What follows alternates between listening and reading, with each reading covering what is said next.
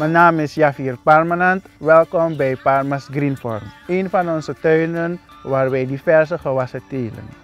Ik doe al vijf jaar aan landbouw en landbouw is natuurlijk uh, mijn passie en uh, mijn hobby.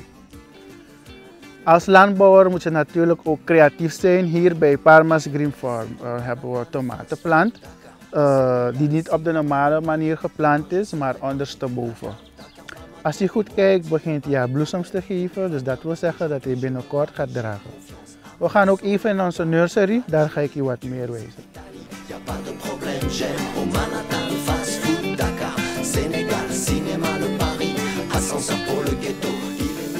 Hier heb ik uh, wat paprika plantjes en uh, ook nog wat peper, antroa en ook nog wat kruidenplantjes. Ik geef mijn plantjes natuurlijk uh, twee, dag, twee, maal, twee keer per dag water.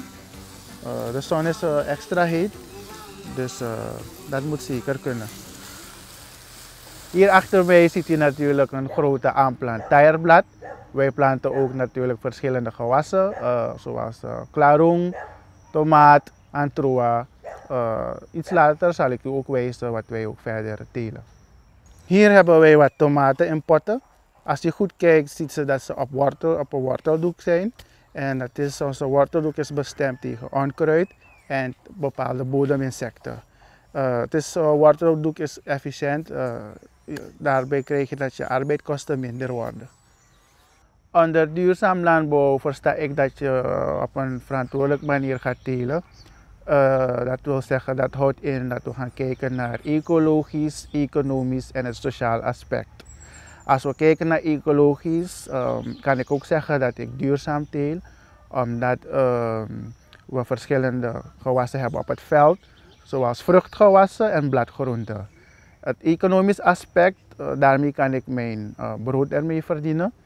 En um, daar, we zijn ook tevreden met de inkomsten die wij genereren.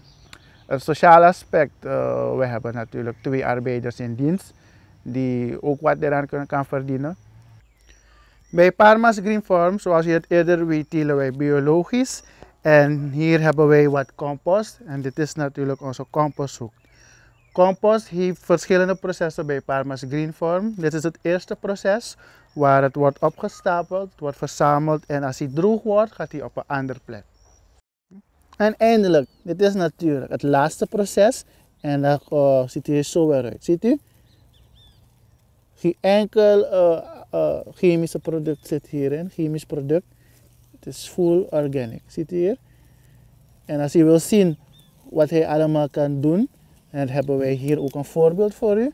Als u kijkt naar onze pampoen aanplant, dan ziet u dat hij uh, ja, helemaal in het compost is. En als u kijkt naar de, de, groei van de stengels en de bladeren, ziet u dat hij echt gezond aan het groeien is.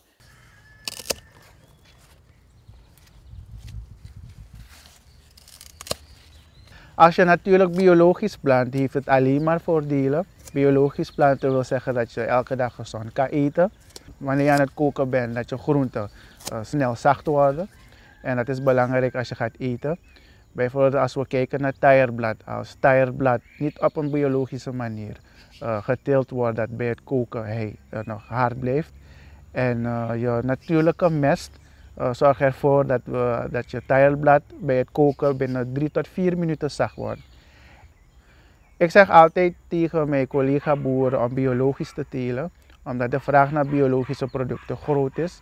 En natuurlijk is het intensiever, maar natuurlijk kan je ook een betere prijs krijgen voor de producten. En het is duurzaam, het is gezond voor de klanten. En um, daar gaan we naartoe. Ik merk ook dat uh, de laatste tijd uh, het, klimaat zelf aan het veranderen is.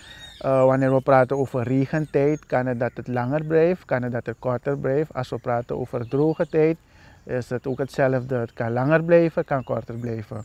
wat ik daartegen doe, ik zorg ervoor dat ik voor de regentijd mijn bepaalde gewassen in, in emmers kan planten.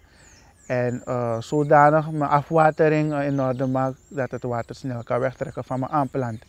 En uh, ik plant natuurlijk in emmers, omdat er, die natuurlijk veel water kunnen verdragen. Ja, dit is een van onze waterput. Hier put ik mijn water voor mijn plantjes. Dagelijks, twee keer per dag. En zo zet ik hem erin.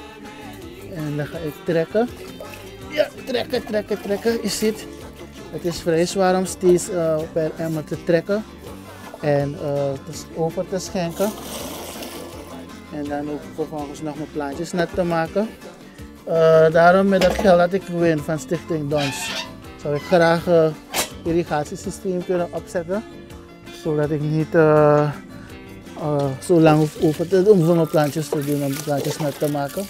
Want dat is natuurlijk ook een beetje tijdrovend.